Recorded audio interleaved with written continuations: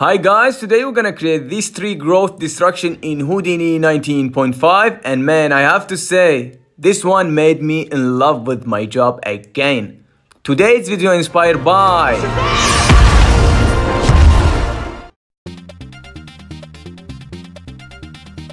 Okay, this is Dyson, happy to be here.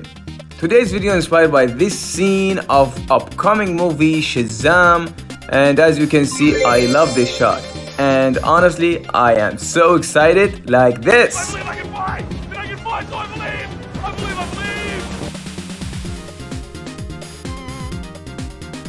Okay, this video is two part because it's so tricky to do. So in this part, we're gonna create this line with line node and maybe let's adjust the length and we have this line. And now let's create curve surface we're gonna create mesh for this line here curved surface. Nice. Let me connect this. Okay. We have this basic shape. We're gonna add end cap here and maybe the thickness. Awesome. So that's the thickness and we have this ramp or curve here for adjusting the look of this thickness. Okay maybe this. Nice. Now okay now let me create a carve node here for the growth effect. We not need this but second view okay we're gonna enable that. And we have this growth. Let me add some segment or polygon here. Nice. Now as you can see we need some variation for this line. Okay let's create attribute noise here let me connect this here and instead of CD we're gonna select P position and let me adjust this noise. And that's awesome and that's the growth as you can see. Now let's go to animate stuff here. First let's go to noise okay? We're not gonna use this animation tab okay? Instead we're gonna use this offset parameter. I guess that's more convenient. So let's type dollar $t and that's it. So I'm gonna adjust the speed later on. And that's for the curve here. Curve sorry. And maybe the speed's too high. Let's use 35% for that. Okay. And this one maybe this. Let me see. So slow I guess okay and yeah let me adjust this. And that's good for now. Okay we're gonna create helix by creating this tube node here. We're gonna resize this and maybe this height is good and maybe we're gonna adjust the thickness here. Okay and maybe the height is more or less than okay. So we're gonna add some segment and we're gonna create find shortest path. This node is so handy. And we're gonna select the start group here okay the bottom and end the group here okay. And let's hit enter and we're gonna have these lines okay. We're gonna create twist node for twisting this line or the geometry. Okay let's set region. Sorry capture region here. We need a straight line at this point and and this point. Okay nice. Now we have this gizmo or handle. Let me adjust this. As you can see the lines are adjusted as you can see. Nice now we're gonna enable the tapper. Uh, okay the tapper. So we're gonna have thin thin look as you can see. Okay and now let's create a merge node here. Nice. Let's merge these guys together and see what we have here. Okay it's not bad. It's still decent. Okay. Now let me adjust this twist okay and now we need a group. Okay need a group node here to select randomly for these lines here. Let's enable these by chance and select this one and let's create delete node. Let's select our group here. As you can see we are selecting a random lines as you can see for reduce this density okay that's not bad. Maybe this. Awesome and let me adjust this twist node with this squashy look. Yeah it's not perfect but it's good for a start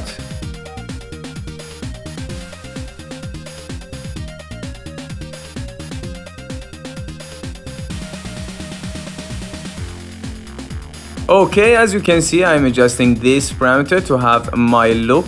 And as you can see, that's look we're gonna use. So we need more segment for that lines. Let's create resample and enabling or adding more point to these lines, as you can see. Nice.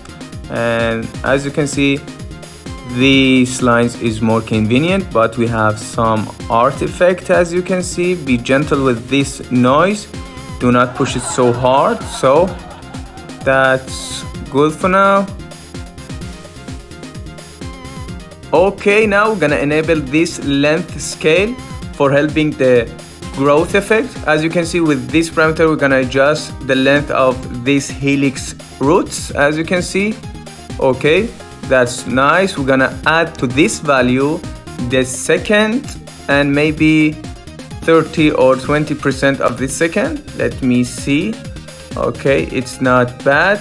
As you can see, we have the growth and this length as you can see. Let me adjust that. Okay. Maybe this and let me see that.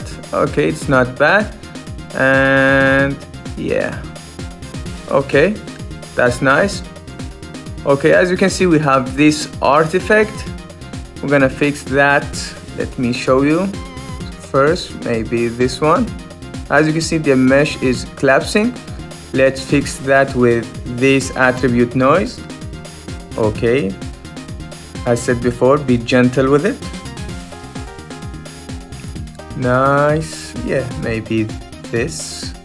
Okay not bad. Let me see that. Okay the artifact is gone. Now let me adjust the thickness maybe. Okay. Yeah. That's good for now. Let's proceed. Okay as always if you enjoyed this video please hit the like button and subscribe for more content. And big shout out for my patreons thank you for supporting me so if you want to support me please check my Patreon page here. We have awesome stuff and project file here. And if you want to support the community, please check my NFT page here and let's go back to the video. Okay, now we're gonna create the cube for the ground here. Let me create a cube, nice. And let me template this one and let me adjust the size, maybe this y-axis and maybe less thickness. Okay that's good. And maybe more. Okay we're gonna use this one. And let me adjust this roots with transform node. Okay let me bring this down and yeah it's not bad for now. Okay I'm gonna use this one and let me create material RBD material fracture sorry. Okay for fracturing this simple cube. And let me delete this one and increase this point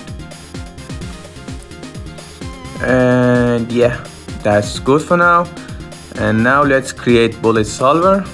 Okay bullet solver. Nice. And let me show you something. Oh okay now we need a ground plane here. Let's go to collision and enable ground plane and that's nice. Pay attention we placing the cube with the ground.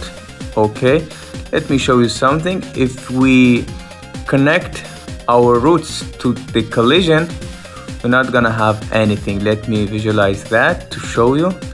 As you can see we don't have any collision. And that's because our roots are deforming and animating as you can see. Let me freeze that maybe on specific frame okay? And now let's play as you can see we have the roots now because they are static. Okay? Even let me disable that. Even if we change the collision to deforming and concave we're not gonna able to make it work. So I have solution for that. Let me disconnect this one and we're gonna create sorry um, maybe let me okay we're gonna create RBD pack. Let me uh, create RBD pack for this uh, RBD material fracture and let me connect this one. And let me disconnect this wires here. Okay. And let's create RBD configure for these roots and let me copy paste this RBD pack here for these roots okay as you can see we have two RBD pack nice. And now we're gonna create a merge node for merging this RBD pack. Okay merge uh, not this merge pack maybe the regular merge. Okay and now we're gonna unpack this RBD with RBD unpack and let's connect this three to our bullet solver so let's go to to this RBD configure of our roots and let's enable deforming because our roots are deforming actually and let's play and see what we get and maybe reset the simulation and let's play. Okay we have this weird effect that's because uh, I don't know it's bug or not but I have a solution for that. Let's uh, offset the roots okay? We're gonna have uh, roots on uh, frame 0 okay? As you can see we have this collision as you can see okay? This artifact is not gone I guess I need to adjust the time shift more and let me see that. Honestly I don't know it's bug or not so I guess let me adjust this time shift or maybe disconnecting this one. Okay and reset the simulation. Okay we have the bugs and let's adjust this one and bingo. As you can see this artifact is gone but our roots are flying. Okay that's weird. And honestly that's because we need to set the active to zero to tell the bullet solver these roots are a static object okay we did it with all the limitation we have in SOP level with bullet solver so in the next part, we're gonna complete this nice simulation with Bullet Solver and I will release that shortly. Stay tuned for that. Okay, until then, have a nice day.